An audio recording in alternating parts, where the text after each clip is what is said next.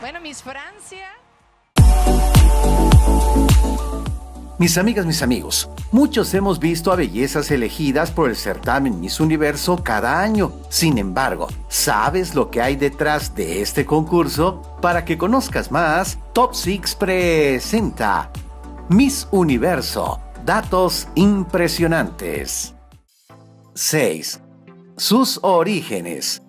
El concurso de Miss Universo fue fundado en 1952 y es el certamen de belleza femenina más reconocido del mundo. Por lo general, las candidatas participan en él después de haber ganado el primer lugar en su país de origen. La primera Miss Universo de la historia fue la finlandesa Armi Kuusela a los 17 años. De hecho, no hay un requisito de estatura en el certamen, pero salta a la vista que la mayoría de las Miss Universo siempre han sido las más altas que el promedio, aunque a veces no ha sido así. Armi Kuusela medía tan solo 1,65 centímetros de estatura y pesaba 49 kilos. Le fue entregada la hermosa corona, confeccionada en oro y plata, que perteneció a la emperatriz Carlota de Rusia.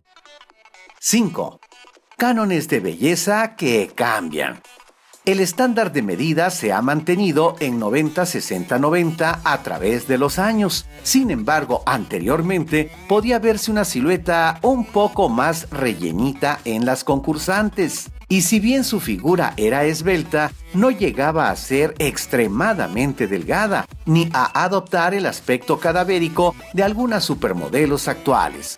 Hoy es más común ver cuerpos tonificados en las concursantes de Miss Universo. 4. Las reinas indiscutibles. Las latinoamericanas suelen llevarse la corona. La personalidad de las concursantes latinas es considerada como más espontánea, carismática y cálida, y los patrocinadores ven en la imagen de ellas un poderoso anzuelo en la mercadotecnia. Simplemente las mujeres latinas han sido irresistibles. Conquistan a los jueces y a todos los televidentes. 3. ¿Es un certamen racista? Mujeres de piel negra y morena han ganado, pero la mayoría de las mujeres coronadas, como las más hermosas, son de piel clara, aún sin importar si provienen de países de Latinoamérica. Según varias encuestas, la piel blanca es preferida por muchos. 2. Estaturas promedio.